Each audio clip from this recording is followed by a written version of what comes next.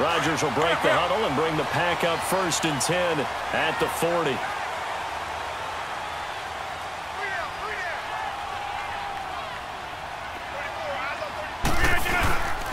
The first carry now for Ricky Williams. They find some open field here. And now running. There he goes left side. Williams.